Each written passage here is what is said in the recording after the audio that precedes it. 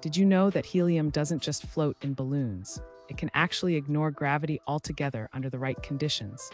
Let's dive into the incredible world of helium superfluids. Normally, helium is known for floating in balloons because it's lighter than air. But when you cool it down to temperatures close to absolute zero, around minus 452 degrees Fahrenheit, something astonishing happens. Under these extreme conditions, helium transforms into a superfluid, a liquid that behaves unlike any ordinary substance. Instead of flowing downward due to gravity, it flows upward, defying the law we're used to. This happens because, in its superfluid state, helium loses all viscosity, meaning it can move without any resistance. Scientists call this phenomenon the fountain effect, where it can even climb the walls of its container. This bizarre behavior makes helium superfluids a standout topic in quantum physics, helping researchers understand exotic states of matter.